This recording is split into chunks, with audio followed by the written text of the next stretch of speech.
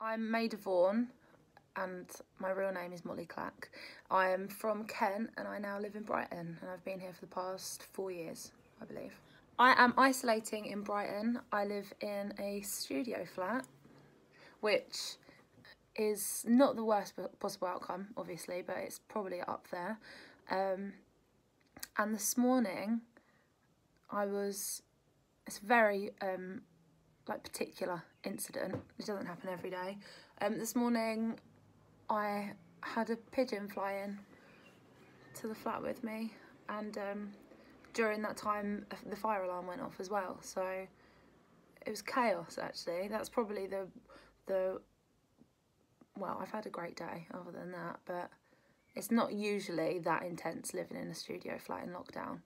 But um, and it's not just one room. We've got three three rooms. We're missing a room basically, um, and I live with my partner, so it's fine. We're quite nice to each other usually. So it's been there's been like an array of activities going on over here and and also an array of like motivation so at the start i was passing the time by um i was doing loads of reading doing lots of exercise um I wasn't allowing myself really to watch much TV or go on my phone. I felt like I had to be productive the whole time. Um, and then I had a period in the middle called my depression session where I closed all the blinds and said goodbye to the world and um, watched about 800 films. Um, and then realised I needed a middle ground, which was a beautiful revelation, if anything. So, um, yeah, I've been doing a bit of both trash TV and, you know, fixing the brain. Lots of banana bread baking, a little bit of drinking, quite a lot of drinking. Um, SSX Tricky, making music. Um, I did a live stream. I haven't been writing music as much as I thought I would be. Brushing up my keyboard skills. Um, I'm I'm newly motivated to write, so I think I'm going to be writing um, over the next couple of weeks. However, um, my EP just came out, so I think I've been focusing on promotion, wanky wanky self promotion, as I like to call it. I've been smoking, and I don't usually smoke.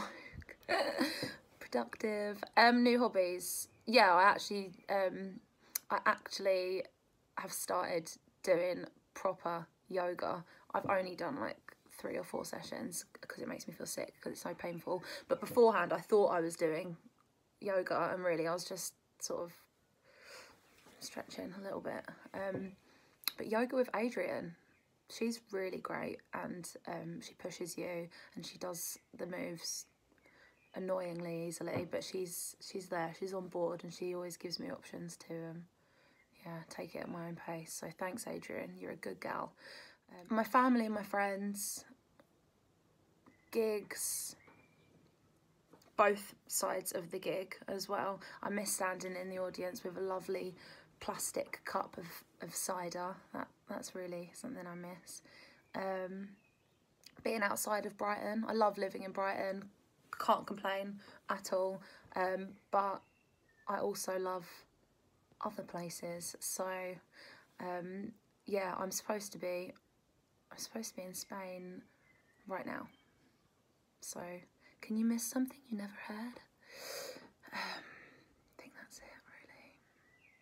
the gym. I do miss the gym. Is that sad? Not as sad as people that are missing like KFC and McDonald's. Sorry to out you guys, but the level of passion people seem to have for shit food. Well, get some gigs lined up. Get some gigs lined up. Practice for the gigs. Um, go back to work. I actually do miss my workplace. Big up Leon. Uh, go just kiss my friends all over their faces. No, that's that's irres that's irresponsible. Maybe I shouldn't do that straight away. But I want to give my nanny a cuddle. Um, I want to go and just enjoy freedom. I've been sort of walking around when I when I'm having my daily walks or runs or whatever. I'm like I can feel myself being pretty hippy dippy and taken in the air. So I think like I'll want to go to some really nice grassy delicious places but tomorrow we are allowed to drive to um, scenic spots so I think we'll probably head to the Devil's Dyke over the weekend and eat some grass not really, but um, don't be so hard on yourself. You don't need to be productive all the time, but also get up. You know, there's there's a there's a balance. Don't stay in bed until two o'clock in the afternoon. It will make you feel worse. Um, eat shit food if you want to eat shit food, but don't eat it all the time. I just, I really think, but like anyone could tell me this when I'm wanting to fucking binge or um, or the opposite. If I'm feeling really intensely motivated, someone saying to me, you know, but balance, balance is good, would piss me off, I think. But it truly is the key. I just went on a lovely run this morning, 10k run, my ad, um, and like my first ever 10k. And um, I got back and I haven't been eating carbs, and I had an egg, egg and cress sandwich, and I loved it. I loved every bite, and I don't regret it. So balance. But I won't be cooking a banana bread today because I eat them all in one. Oh, and watch Killing Eve. And I've got loads of other fucking fabulous. I've, I like, um, I'm a filmy. I'm a massive filmy. So if you want any, and podcasts, I, I can recommend some great entertainment. And music. Um, I've just discovered Bat for Lashes, Lost Girls album, amazing. Um, Rita Sawayama, just um, discovered as well. I think it's Rita, or is it Rena? She's amazing. It's like this incredible pop um, metal genre blend. So yeah, listen to music. Listen to my EP, Face Like Thunder, out everywhere now. Um, yeah, we, um, me and my partner were supposed to be, yeah, we were supposed to, not to make it such a um, first world problem, but we were supposed to be going to download, we were supposed to be going to Glastonbury, um, and we were so excited, especially to see System of Down, who I've seen already, but he hasn't, so it's very sad. Um, so don't allow yourself to grieve for the gigs that you've missed because I've done that before when when I just haven't been able to afford it but you can you can you can afford it or like you know I just haven't booked it off working time or whatever don't once we're out of this situation where your choices are so restricted don't allow yourself to miss something that you might never have the opportunity to do again. Um, I'll never miss a gig that that you know that I really want to go to again. It's this bloody thing. Um, and we were meant to be going on two holidays. Like it's made me want to travel. I never wanted to travel much up until now. I've always been quite happy with my sort of yeah going to Greece once a year, but it's given me a little bit of an itch. Um, and just like I say, family, friends, gigs kindness. Um,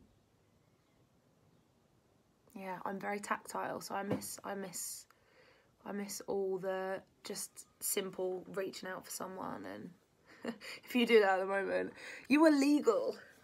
Come here, come to me. Um so yeah, there's lots that I've taken for granted in the past that I won't do again. Being able to hop on the train to London and make music, like yeah. I missed lots and lots of things. So, thank you for listening to my rambling. I'm Maida Vorn, M-A-I-D-A space V-O-R-N. I'm in capitals on Facebook, maybe on Instagram, I don't think so. Um, but I'm on Facebook, Instagram and Twitter as of recently.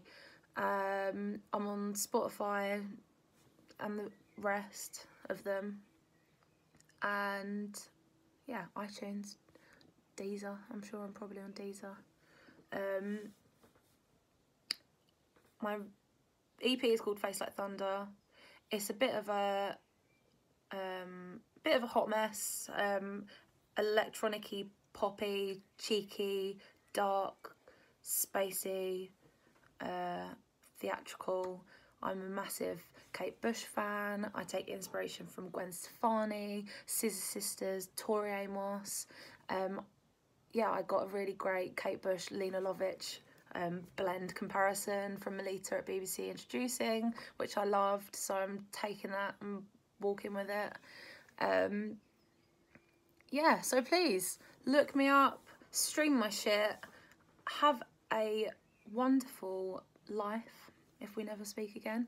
Um, and yeah, good luck out there, guys. Take care of each other.